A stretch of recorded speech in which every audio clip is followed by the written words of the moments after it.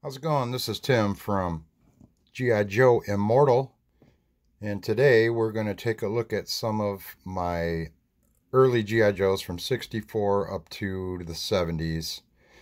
And uh, there's been a lot of confusion that I see on eBay on what people are selling. And I'd just like to inform everybody about the different types of G.I. Joe that were produced.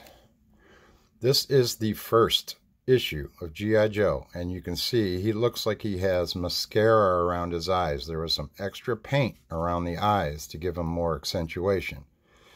I do have one of these. Unfortunately, I have them put away in the boxes, and I just want everybody to know that this is what they call a mascara type G.I. Joe.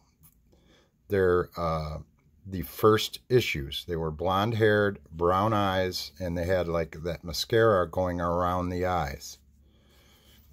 And uh, that is the first issue. Now, the second issue is this guy here. He's brown haired. They got hard heads. They're hard. They're not soft. You don't press them in. Now, see how he just got kind of a translucent looking face like that? Okay, I can show you an example right here. This is the second issue G.I. Joe right there. He has the hard head. You can't press it in. That's the second issue brown-haired figure. And he's got kind of like a translucent look to his face.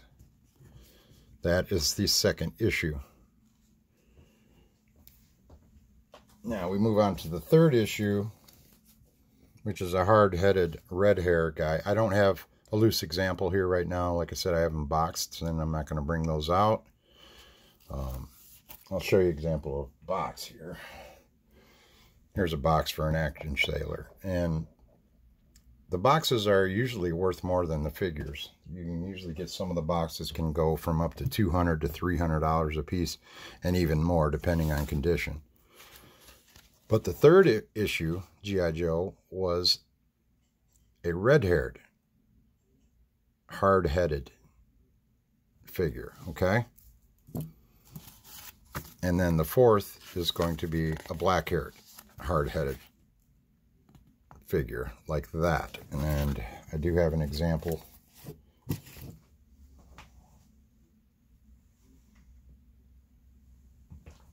And he will have the brown eyes.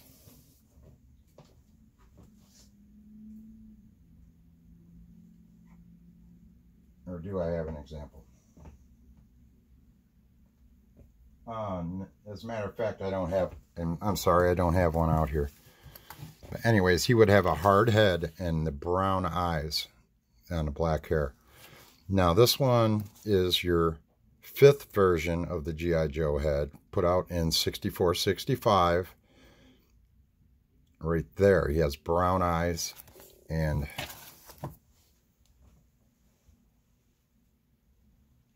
he still will have a hard head. That's him there. And he has a hard head, as you can see. That's the fifth version.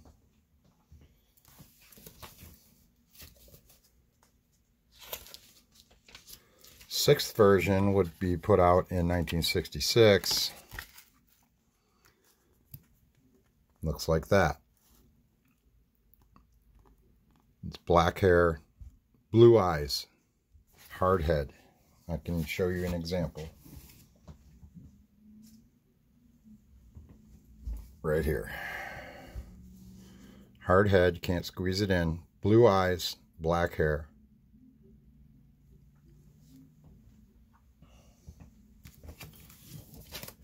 Now, as they got into 67, which I do have this version right here uh, exactly, this is the seventh version of the G.I. Joe head, and these got softer. These are the ones that got soft. And here he is right here, and you notice, they have a soft head. That's when they transformed. And that's the sixth version.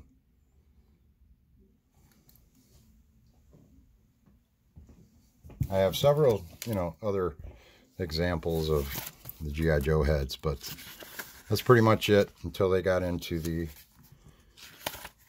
So most of the figures you get are either going to be the hard heads from 65 and 66 to the soft heads from 67.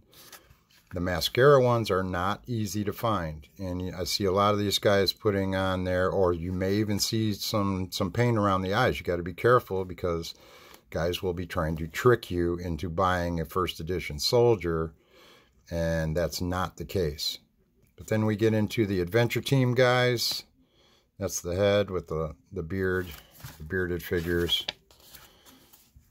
i have this one and that one this is actually the uh, sea adventurer i believe and this is the air adventurer and then you have the Man of Action, which is like that. And you can get other versions of the, the hair like that. This is the 1970 Team African American Adventure Head with black lifelike hair. Now, you can find these guys still, but you got to be really careful because the bodies get very cracked and falling apart and a lot of times they don't show you the bodies and be leery of that because if you buy one and you don't see the body more than likely he is all cracked up and ready to fall apart. So be careful of that. Make sure you see the whole body of the figure before you get it because a lot of the ball joints will just disintegrate over time and it's hard to find a very good figure like that this is the talking version and then you have your Mike Powers head right there. And then you get into the eagle-eyed, which these guys are pretty rare to find because they came out around 1976 when G.I. Joe was kind of dying out. And, uh, and there's the lifelike hair eagle-eyed figure. These guys cost a premium. If you see some, try and pick them up if you can. They're really tough to find. Then this guy I really didn't care for was the Bullet Man head. I just thought it was too cartoony and I didn't really care for it, so I never really got into him. And then the Intruders, I didn't care for at all. Uh, I was more into the adventure team and the regular military styles. Now we get into some of these heat stamps. Now, how you can tell uh, what issue soldiers. Now, the first ones, very first issues, had a heat stamp on the back right here. Now you can barely see it. If you can, uh, you just can't even hardly see it. But that's the first of some of the first issue ones. And then you got into a heat stamp that was up there on the shoulder. That says 1964 Hasbro USA. And then you got into your regular stamps, which a lot of us got from 64 to 65. Uh, we're talking about in the 60s and mid 60s out of the two-piece mold. It reads G.I. Joe TM copyright 64 by Hasbro R patent pending made in USA. And then the most common ones are these here is the 66 and 67 to 69s. Now the 66 will say Copyright 64 by Hasbro, patent pending, made in USA. Now the ones from 67 to 69, which was 68 was actually the end of the military type figures, was G.I. Joe R copyright 1964 by Hasbro, patent number, and would have the number there, made in USA. Now these are quite common. You see them, they got the stamp going across the buttocks there like that. And those are pretty common. Most of these, you, those figures you can get bare bones for 20 bucks, 20 to 30 bucks. And that's uh, a nude figure. There's the 67 where you had a patent was across the back. As you can see, it says patent pending. And then on the buttocks, it was marked G.I. Joe, copyright 64 by Hasbro, patent number made in USA. Those are the 67 ones. And those usually came with the European soldiers. Now, the Canadian markings had G.I. Joe Reg TM RD 64 Hassenfeld Brothers Incorporated patented 1966 made in Canada. That's the Canada figures. And then we got into these adventure teams from 75. They were right across the back. Hasbro, patent pending, Pawtucket, Rhode Island. And then one with a bit more on the other side. And those were in 76, I believe. Yes. And that was it. So be careful on these guys saying, here's a first issue G.I. Joe, and they want a couple hundred dollars for a head, and it doesn't look like that then they're full of beans. Or if it does look like that, be careful. Make sure you get a close-up shot of that head to look for that mascara on the side. Or, you know, it's a lot of times it could rub off or something like that, as you can see with some of my figures did. But make sure that it was there. And uh, now we'll uh, might as well take a look a few of my figures that I have right now. Um, this is my Marine Sergeant here.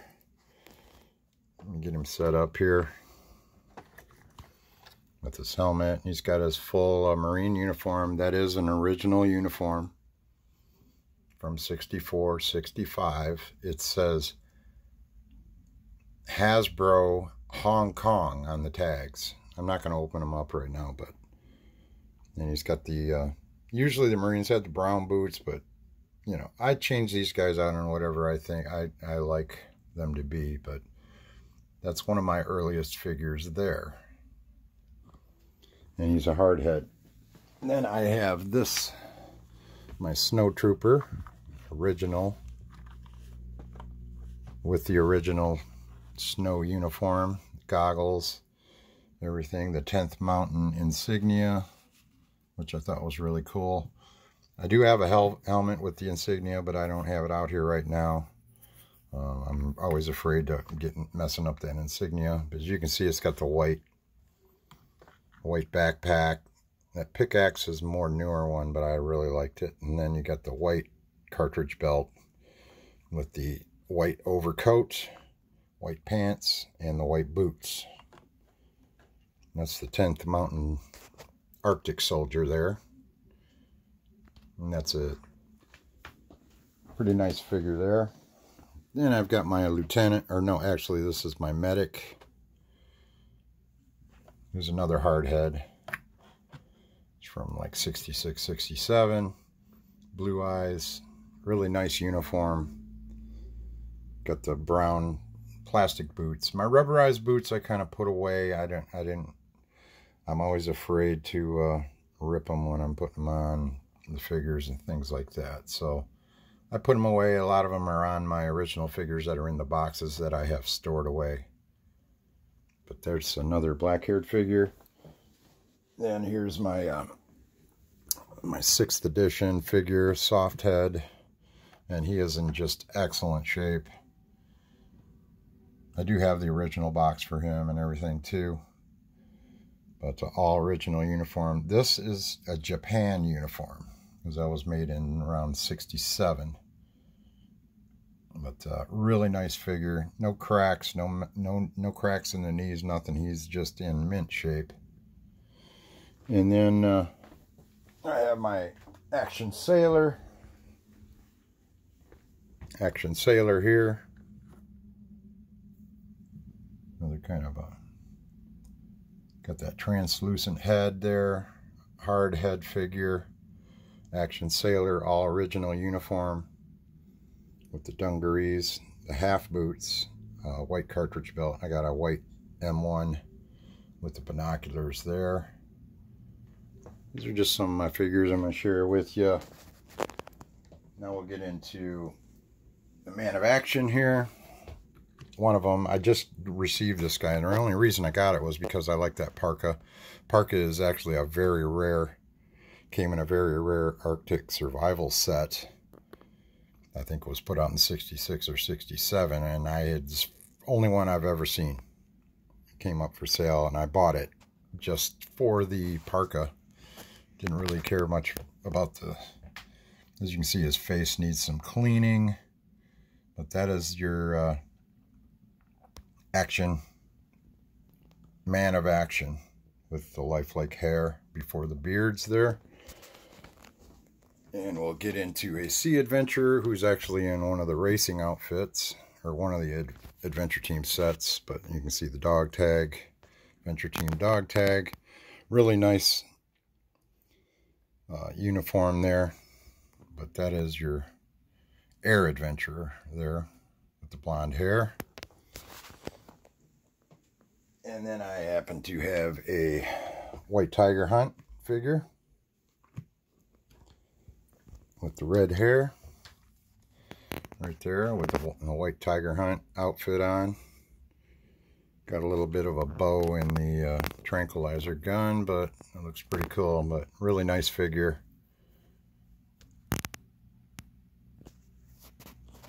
And the adventure team insignia there and then let's see here we got my secret mission to spy island figure here which you may have seen in one of my earlier videos. That's him there. Really excellent shape figure from 1970 with the black dungarees, the half boots, and the black sweater. The camouflage, the camouflage radio with the red Adventure Team binoculars and the rubberized hat. Just a couple more to go here. Here's my lieutenant. He was in one of the, let me set this down for a second. And I'm going to set him up right here. Get his helmet on. I wanted to show you this helmet especially because I collect these helmets too and they're not really G.I. Joe. Well, they're not G.I. Joe.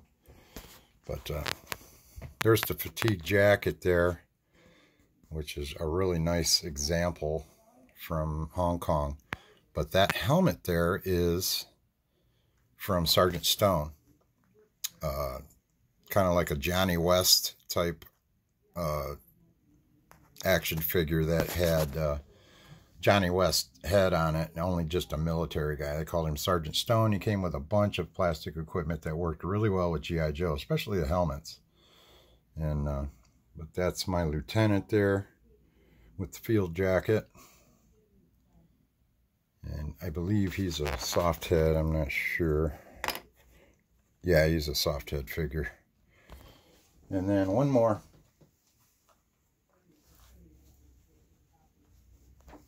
Can grab my... These are kind of out of reach. There's my Secret of the Mummy's Tomb is just a regular figure. I put in the uh, the brown khakis with the pith helmets. This is an original 60s, 67 figure right there. But a really nice example of the khaki outfit. And that's some of my uh, G.I. Joe collection. And uh, I'm glad you had opportunity to take a look at some of these with you but I just wanted to get something straight on the heads. I see a lot of people getting burnt and tell me look at this first issue and this and that and I come and look at it and they and I'm like that's not a first issue and what'd you pay for that? And they ended up paying a lot of money for something that was not a first issue. So I just wanted to get that straight. I mean look for these uh, kind of like uh, translucent type heads like that guy compared to this guy. See, that's an older figure. That's a soft head from like 67 to 69, or actually 68. They quit making them. Um, and that guy is more of your 66, 67. The earlier ones are going to be these guys right here. Some of the earlier guys there. I don't have a first issue here. That's going to be the mascara guys. You can see the black around their eyes.